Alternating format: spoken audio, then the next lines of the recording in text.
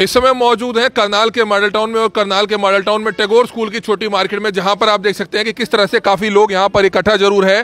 क्या विवाद है? हम आपको बताना चाहेंगे कि किस तरह से एक दुकानदार, एक मकान मालिक की तरफ़ से जो है शिकायत दी जाती है, जिसके बाद आप देख सकते हैं कि जो एक जर्जर बिल्डिंग है, उसको गिराया जाता है और जो लोगों के घरों के बाहर जो थड़े बने हुए थे, जो सड़क की तरफ़ आए हुए थे, उनको जो है गिराया गया और आप देख सकते हैं कि किस तरह से जो जेसीबी मशीन है, जो बुलडोजर है, वो यहाँ पर ज़रूर चला है, जिसके बाद आप देख सकते हैं कि जो ये कार्रवाई है जब लोग यहाँ पर इकट्ठा होते हैं तो उस कार्रवाई को हालाँकि काफ़ी हद तक जो है रोक दिया गया, लेकिन आप तस्वीरें देख सकते हैं, जो स्थानीय पार्षद पति है, वो यहाँ पर पहुँचे हैं, जो आसपास के रहने वाले लोग हैं, वो यहाँ पर मौजूद है। क्या कुछ पूरा मामला है, लोगों से भी बातचीत करना चाहेंगे। इस समय आप ये जो तस्वीरें देख सकते हैं, सर, क्या कुछ बताना चाहेंगे?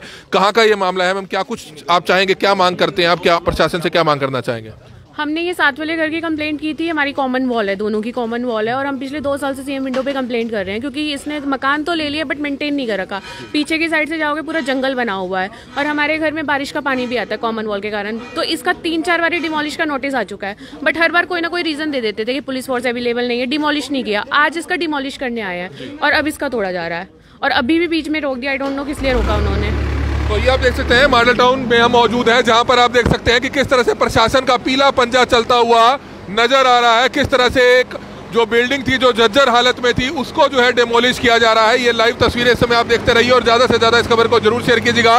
ये लाइव तस्वीरें करनाल के मॉडल टाउन से आप देख सकते हैं, जो टैगोर स्कूल है, उसके सामने की जो छोटी मार्केट है, वहाँ की आप ये तस्वीरें देख सकते हैं कि किस तरह से एक जर्जर हालत में जो बिल्डिंग थी, उसको किस तरह से डेमोलिश किया जा रहा है और यहाँ तक कि जो लोगों के घरों के बाहर खड़े बने हुए थे, उनको भी जो है तोड़ा जा रहा है। ये लाइव तस्वीरें इस समय आप देख सकते हैं, करनाल के मॉडल टाउन की। हालाँकि काफ़ी संख्या में जो लोग हैं, वो यहाँ पर पहुँचे हुए हैं। इस समय आप तस्वीरें देख सकते हैं, एहतियात के मद्देनजर जो पुलिस फोर्स है, वो भी यहाँ पर बुलाई गई है। ये तस्वीरें इस समय आप देख सकते हैं कि किस तरह से जो लोगों के घरों के बाहर खड़े थे, उनको तोड़ा गया है और इस समय जो स्थानीय पार्षद पति हैं गिन्नी विर्क वो हमारे साथ मौजूद है उनसे भी जानना चाहेंगे। गिन्नी विर्क हमारे साथ है। गिन्नी जी क्या कुछ बताना चाहेंगे? क्या पूरा मामला था जो पता चला आपको यहाँ पर?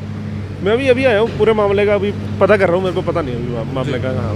तो मतलब डेमोलिश कर रहे हैं कोई पुरानी बिल्डिंग को? जी जी जी जी।